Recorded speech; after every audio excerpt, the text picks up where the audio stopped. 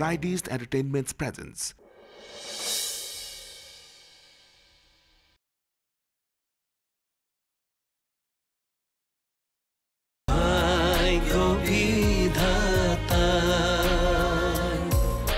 কপালরে লিখনি কোনে লিখে লিখে জীবন কবিতা জীৱনৰে ছবি কোনে আঁকে কোনে বোলাই তুলিকা। কোনে জ্বলাই কোনে নুমাই জীৱন সৰিতা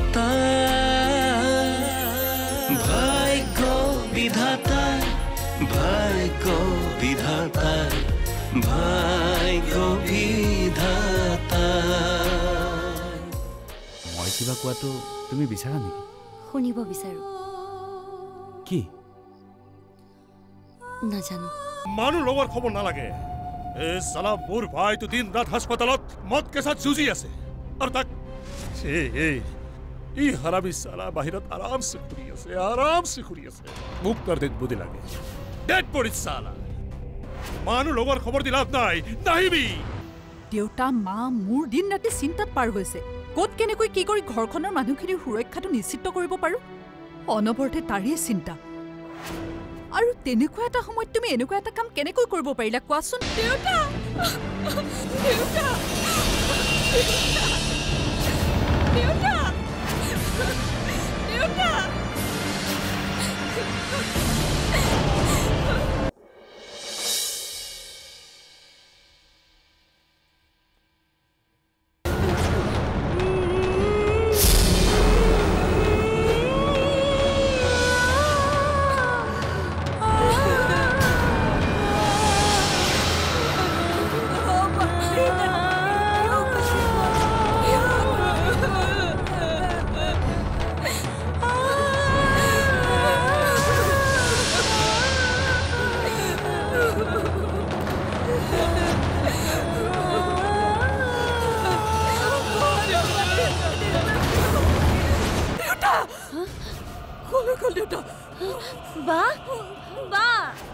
কি হৈছে তোমাৰ?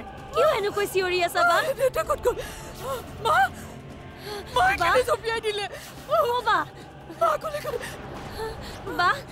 তুমি এইবোৰ কি কৈছা? কিবা বেয়া সপোন দেখিছা নেকি? কোৱা না বা? কি হৈছে? অলপ ৰিলেক্স হোৱাচোন ডাঙৰ মা ডাঙৰ মা এনেকৈ কিয় চিঞৰিছা? হা? সৰু মা কি হ'ল তাইৰ? নাজানো মা কথা নাই বৰ্তা নাই মা দেউতাই এনেকৈ চিঞৰি আছে। বায়ে কিবা বেয়া সপোন দেখিছে নেকি? ডাঙৰ মা ডাঙৰ মা মই আছো। মই আছো ডাঙৰ মা। চাওঁ চাওঁ মা। তুমি সপোন দেখিছা? তুমি সপোন দেখিছা নেকি? চোৱা আমি চব ঠিকে আছো। ডাঙৰ মা ধেত আকৰিজনী। নাপায় নহয়।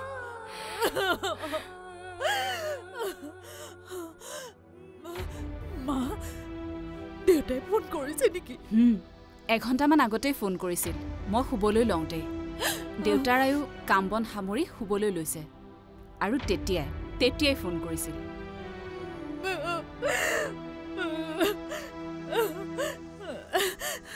মা দেউতাক ফোন এটা কৰোঁ নেকি? ডাঙৰ মা কালি ৰাতিপুৱাই দেউতাৰ মিটিং আছে। শুবলৈ দিয়া। আমি আছো নহয়। চাওঁ। তুমি শুই দিয়া। খোৱা। বা মই এতিয়া শুওঁ আৰু তুমিও শুই দিয়া। এইবোৰ চিন্তা কৰি থাকিব নালাগে। ভয় খাব নালাগে। শুই দিয়া। চাওঁ খোৱা। মই আছো নহয়।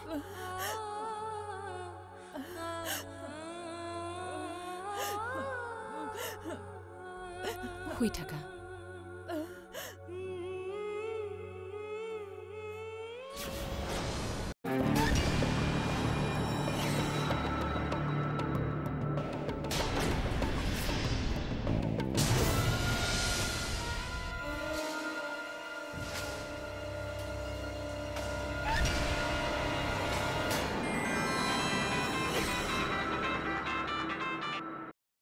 হেল্ল' কি?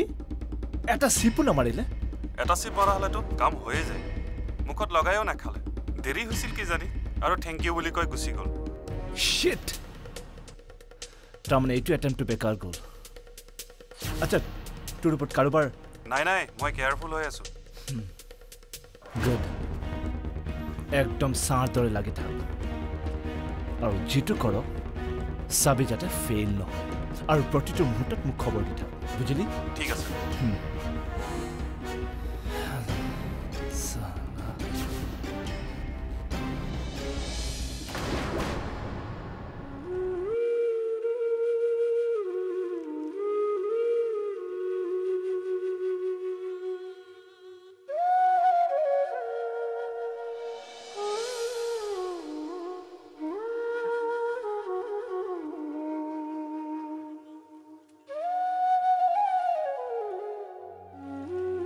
খালিদ হুছেইনি মোৰ ফেভৰেট ৰাইটাৰ আপুনি আপুনি কেতিয়া পালে? মানে একচুৱেলি আপুনি সোমাইছে মই আচলতে কিতাপখন পঢ়ি থকাৰ কাৰণে খেয়াল কৰা নাছিল। It's perfectly all right mister Lahon in fact আপোনাক দেখি মোৰ পুৰণি অসমীয়া কথা এষাৰহে মনত পৰিছে। পঢ়াই পঢ়ে ৰুৱে পাণ এই তিনিয়ে নিশ্চিন্তে আন। আপুনি মোক লাজ দি মাৰিব এতিয়া। চাহ খাব উম, খাব পাৰি থেংক ইউ ভাইটি হয় ছাৰ দুকাপ চাহ দিবিচোন দি আছোঁ ছাৰ আচ্ছা আপুনি কি কৈ আছিল অঁ মই কৈছিলোঁ খালিদ হুছেইনিৰ কথা যাৰ কিতাপ আপুনি পঢ়ি আছে তেওঁৰ লিখা পঢ়ি মোৰ বৰ ভাল লাগে অৱশ্যে কিতাপ পিছে মই মাত্ৰ এইখনেই পঢ়িছোঁ দ্য কাইট ৰানাৰ তেওঁ লিখা আৰ্টিকলছবোৰ মই কিছু পঢ়িছোঁ শ্বৰ্ট ষ্টৰিজো পঢ়িছোঁ খুব ভাল লাগে। তেতিয়াহ'লে মই আপোনাক ছাজেষ্ট কৰিম যে আপুনি থাউজেণ্ড স্প্লেণ্ডিড ছানখন পঢ়ি চাওক। ভাল পাব। আপোনাৰ ওচৰত আছে যদি দিবচোন। খালিদ হুছেইনিৰ লিখাবোৰ পঢ়িলে মোক খুব টাচ কৰি যায়। I don't know' why but I feel an emptiness in him ক'ৰবাত যেন কিবা খালী হৈ আছে মানুহজনৰ মাজত।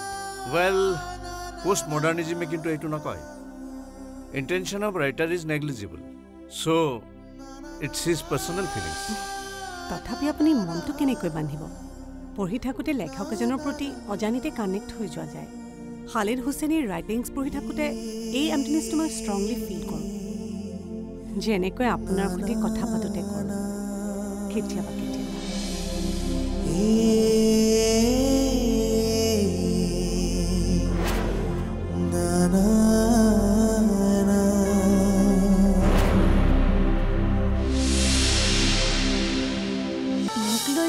অলৰেডি ঘৰখনত টেনশ্যন চলি আছে। কালি মই এনেকুৱা এটা বেয়া কাম কৰিলোঁ। দেউতাৰ টেনশ্যন মাৰ অৱস্থা বেয়া। মই তোমাকো কিমান কষ্ট দিছোঁ। মই বহুত ফাল্টু ছোৱালী। ন আই ডোণ্ট মাইণ্ড মাথো মোৰ জানিবলৈ মন গৈছে। সেয়া বাৰু মই ক'ম। কিন্তু তাৰ আগতে মই জানিব বিচাৰোঁ। মই ভুল নেকি বাৰু? ভাগ্য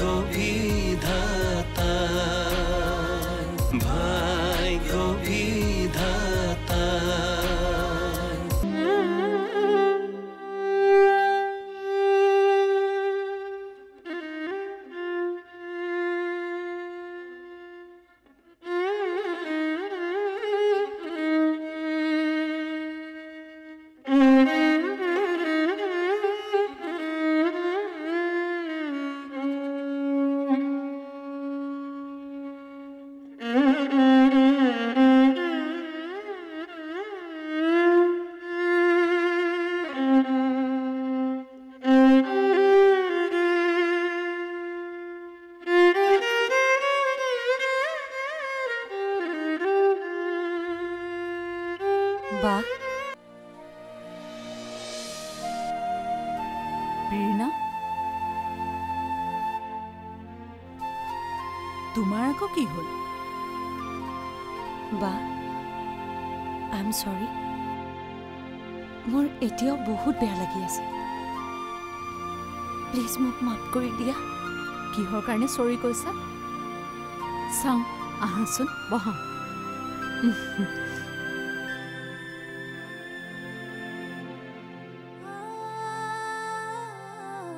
বা মই কালি তেনেকৈ যাব নালাগিছিল ন? মোক লৈ অলৰেডি ঘৰখনত টেনশ্যন চলি আছে। কালি মই এনেকুৱা এটা বেয়া কাম কৰিলোঁ। দেউতাৰ টেনশ্যন মাৰ অৱস্থা বেয়া। মই তোমাকো কিমান কষ্ট দিছোঁ।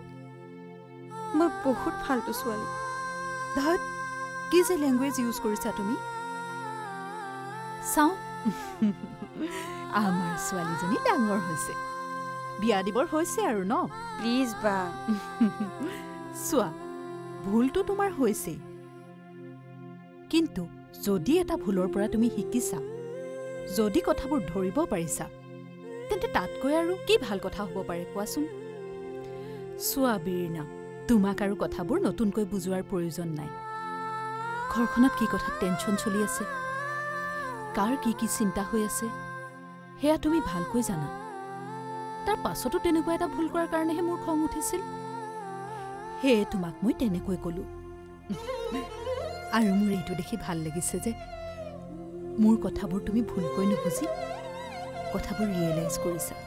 বা মোৰ কাৰণেই কালি তোমাৰ সেইবোৰ হৈছে ন? মোৰ কেয়াৰলেছ বিহেভিয়াৰৰ কাৰণেই কালি ৰাতি তুমি সেইবোৰ সপোন দেখিছা। বা তোমাৰ বহুত টেনশ্যন হৈছে ন? টেনশ্যনটো হয়েই।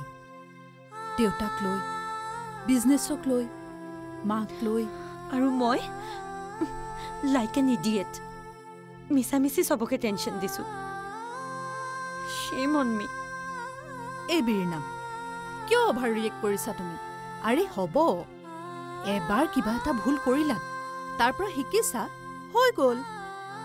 বন্ধ কৰা এতিয়া। আৰু এইবোৰ কথা ভাবি থাকিবলৈ এৰা। কাৰণ তুমি মন বেয়া কৰিলে আমাৰ কালিতকৈ বেছি টেনশ্যন হ'ব বুজিলা? আৰে বা আজি দেখোন কথা ওলোটা হ'ল। মই ঠিকেই ধৰিছিলো। আমাৰ ছোৱালী ডাঙৰ হ'ল। সঁচাকৈ বিয়া দিবৰ হ'ল দেই। ভুলতো হোৱা নাই। একদম হোৱা নাই দেই বা দহটো ৰুমত হৈছে দহটো ৰুমত বিয়া দিব হৈছে। কিয় তেনেকৈ ক'লে আপুনি? কিয় বেয়া পালে নাই বেয়া পোৱা নাই আচৰিত কিন্তু হৈছোঁ বুজা নাই আপুনি কিয় তেনেকৈ ফিল কৰিলে অ'কে আই মাইট বি ৰং কিন্তু মই তেনেকৈ ফিল কৰিলোঁ সেইকাৰণেই ক'লোঁ hope you don't mind no I don't mind মাথো মোৰ জানিবলৈ মন গৈছে সেয়া বাৰু মই ক'ম কিন্তু তাৰ আগতে মই জানিব বিচাৰোঁ মই ভুল নেকি বাৰু? মানে আপোনাৰ সন্দৰ্ভত? নাই আপুনি ভুল নহয়। কিয়? মানে বেয়া নেপাব কিন্তু নাই নাই মই বেয়া পোৱা নাই। ইনফেক্ট আপুনি মোৰ বাবে তেনেকুৱা এটা স্থানত নাই যে তেনেকৈ সোধা বাবে আপোনাক মই বেয়া পাম বা মোৰ গাত লাগিব। ইনফেক্ট মোৰ ভাল লাগিছে। For your concern please don't take it otherwise of course not so' will you share with me কি ফাল্টু কথা কয়হে আপুনি? কিমান বয়স হৈছেনো মোৰ? আপোনাৰ কাণ সমনীয়া বুলি ভাবিছা নেকি? ফুলুগুটি খেলা খাই লগৰটো বুলি ভাবিছা নেকি? মুখখন চাহ তাৰ লাও পাত কচু পাতে দিওঁৱে নেকি? অঁ কেনেকুৱা কৰে হে? হে? কি ফটো আমি কয়হে আপুনি? অ' ডাঙৰ মা এই যে খুব ভাল কাম কৰিলে যে কিবা ডাঙৰ যে বঁটা এটা দিয়ে। কি বুলি কয় সেইটো?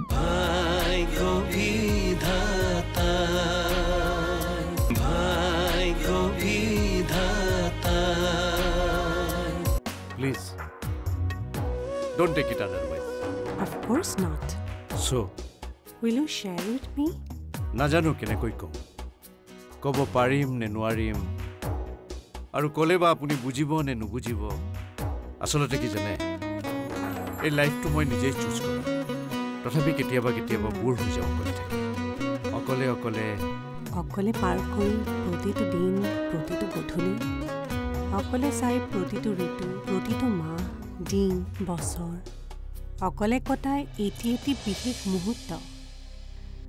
উৎসৱ পাৰ্বণ অকলে পাৰ কৰি প্ৰতিটো যাত্ৰাত আৰু যাত্ৰাৰ মাজত থমকি ৰোৱা সেই সময়খিনি। অকলে পাৰ কৰি সফলতা বিফলতাবোৰ অকলে কটাই সংজ্ঞাহীন আবেলিবোৰ। বোৰ হৈ যায় আপুনি হয়নে? সকলো থাকিও কিবা নথকাৰ অনুভৱ। সম্পূৰ্ণ হৈও উকা উকা যেন। নহয় জানো? ঠিক এনেকুৱাই হয়। আৰু ময়ো আচৰিত হওঁ জানে? নিজেই বাছি লোৱা পথটোত মাজে মাজে কিয় ইমান দুবিধাত পৰোঁ? কিন্তু আগতে এনেকুৱা হোৱা নাছিল। আৰু কেতিয়াৰ পৰা ইমান প্ৰমিনেণ্ট হ'ল মই নিজেই ক'ব নোৱাৰোঁ। তাৰমানে আপোনাৰ মনে কাৰোবাক বিচাৰিছে? নাই নাই। তেনেকুৱা একো নাই। কথা দুটামান কওঁ। বেয়া নাপায়তো। কওকচোন। সংগীহীন জীৱন আপোনাৰ চইচ হ'ব পাৰে। কিন্তু সংগী বিচৰাটো মানুহৰ জীৱনৰ প্ৰবৃত্তি। বেচিক ইনষ্টিংক্ট এইটো কোনো প্ৰকাৰে ভুল নহয়। কেতিয়াবা ভাবিছেনে? যেতিয়া চকুৰে ভালদৰে মনিব নোৱাৰা হ'ব ভালদৰে মাত এষাৰ দিব নোৱাৰা হ'ব তেতিয়া কি কৰিব? কাৰণ বাকীবোৰতো আপোনাৰ বাবে সময় নোলাব আৰু সেই বিশেষজনে সেই সময়ত আপোনাৰ লগতে থাকিব। তাৰমানে কি জীৱনৰ শেষ সময়খিনিৰ কাৰণে মানুহক মানুহৰ সংগ লাগে নেকি?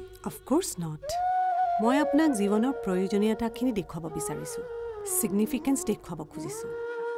এচেঞ্চ দেখুৱাব বিচাৰিছোঁ। মই ক'ব খুজিছোঁ জীৱনৰ খলা বমা বাটত আন কাৰোবাৰ আপোনাৰ প্ৰতি সময় থাকক বা নাথাকক। কিন্তু তেওঁৰ সময় আপোনাৰ বাবে সদায় থাকিব। আৰু আপোনাৰ অকলশৰীয়া অনুভৱ একদমেই জাষ্টিফাইড কাৰণ সংগী যদি উপযুক্ত হয় জীৱন জীয়াই থকাৰ মজাই অনন্য হ'ব। আপুনি যেতিয়া ইমান কথা জানিছে বুজিছে তাৰ পিছতো আজি পৰ্যন্ত অকলশৰীয়াকৈ কিয় আছে? মই চাগে উপযুক্ত সংগীজন বিচাৰি পোৱা নাই। চাগে আৰু কিছু সময় লাগিব। আমাৰ সাহিত্যিকসকলে কোৱাৰ দৰে চাগে লুইতে দিয়া আৰু কিছু পানী বৈ যাব লাগিব। আপুনি মোৰ দৰে কেতিয়াও অকলশৰীয়া অনুভৱ নকৰে? একেডাল স্কিলেৰেই জানো সকলো জুখিব পাৰি। মই আহোঁ। ভাল পাম যদি আপুনি মোৰ কথাবোৰ এবাৰ ভাবি চায়।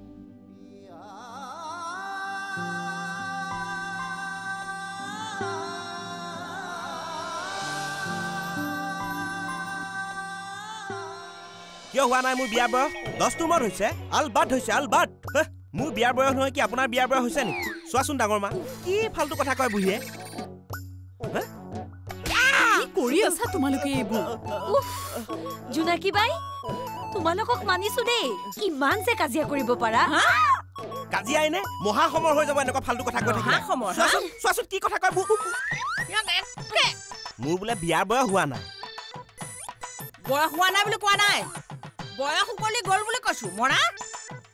তোৰ আৰু বয়স নাই। এইবোৰ সপোন তই বাদ দে। মিছা মিছি সপোন পুহি লাভ নাই। আশা লৈ লৈ মৰিবি তই। আৰু তাৰপিছত ভূত হৈ আমাক দিগদাৰ দিবি। কি ফাল্টু কথা কয়হে আপুনি? কিমান বয়স হৈছেনো মোৰ? হা? আপোনাৰ কাণ সমনীয়া বুলি ভাবিছা নেকি? ফুলুগুটি খেলা খাই লগৰটো বুলি ভাবিছা নেকি? মুখখন চা তাৰ লাও পাত কচু পাতে দিওঁৱে নেকি? অ কেনেকুৱা কৈ আছা? হে? হে? কি ফুটুৱামি কয়হে আপুনি? অ ডাঙৰ মা এই যে খুব ভাল কাম কৰিলে যে কিবা ডাঙৰ যে বঁটা এটা দিয়ে। কি বুলি কয় সেইটো? বৰ্তা এই যে দেশে বিদেশে যে বৰ পপুলাৰ যে। কিবা ভাল কাম কৰিলে দিয়ে যে। এই আমাৰ যে ৰবীন্দ্ৰনাথ নে কোনোবা এজনে পাইছিল যে। কিবা গীতাৱলী নে কিবা লিখি।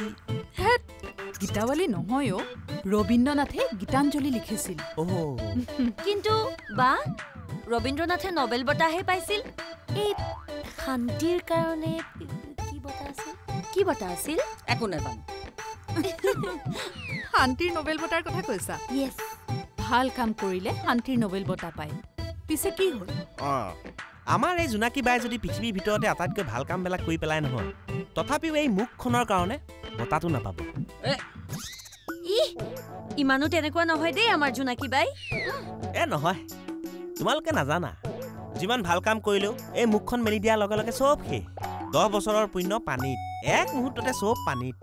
এইখন মুখেৰে কথা ওলাই নেকি? গালিহে ওলাই। বছ বছ বছ বহুত হৈ গৈছে। ডাঙৰ মা সৰু মা তোমালোকে চাই থাকা। আজি মাদাৰ হৈ যাব কিন্তু। ইয়াক মই নৰকলে পঠিয়াইহে এৰিম। গাহৰি চৰা চিনি পোৱা নাই তোমালোকৰ উৎপাতটো আজি বেছি হৈছে ন? দেউতাক ঘৰত নাই কাৰণে?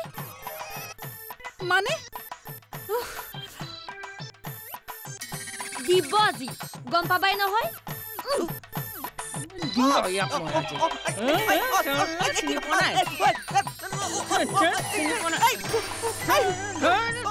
মা আজি কিন্তু মোক নৰখাবা দেই কৈ দিলো। দেউতাক ফোন কৰি ইহঁতৰ উৎপাতৰ কথা আজি কিন্তু মই কমেই ক'ম। মই চব কৈ দিম। মোক আজি নৰখাবা।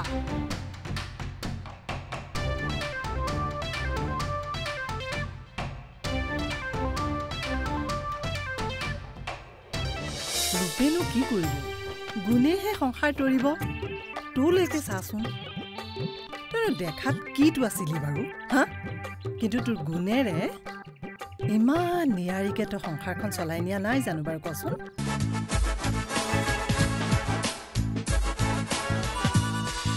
নালাগে বাই বাই বাই। আৰে আৰে। ৰচোন শুন। I love you.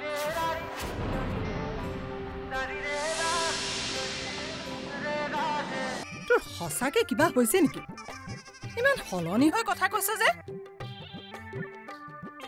মূৰত কিবা দুখ চুখ পোৱা নাইতো মূৰত মই দুখ পোৱা নাই কিন্তু আচল কথাটো গম পালে মূৰত আপুনিহে দুখ পাব।